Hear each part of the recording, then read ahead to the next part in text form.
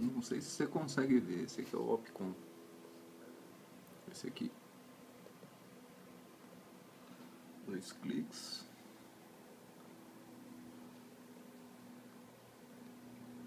Diagnóstico. Zafira 2000, ano 2005, Zafira A. Body. Central Lock mas se você notar, se eu entrar aqui, ele não vai conectar porque não está ligado a nenhum carro. Eu encontrar, vamos voltar aqui. Mas ele faz alarme, faz travas, climatização,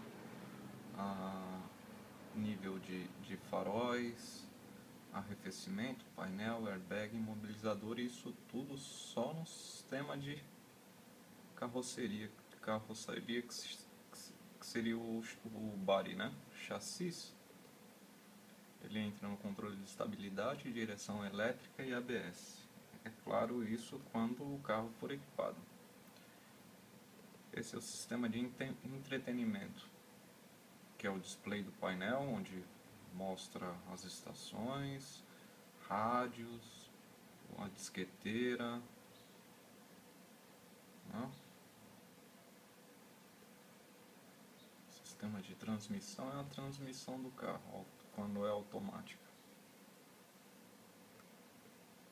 Engine que seria motor, todos os tipos de motor, com sistemas de injeção, esse é Multec,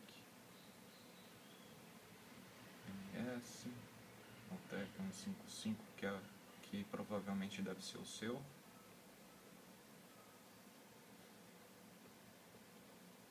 Esse aqui é é o Car Identification, ele baixa o número de chassis e os módulos que equipam o carro. Tá.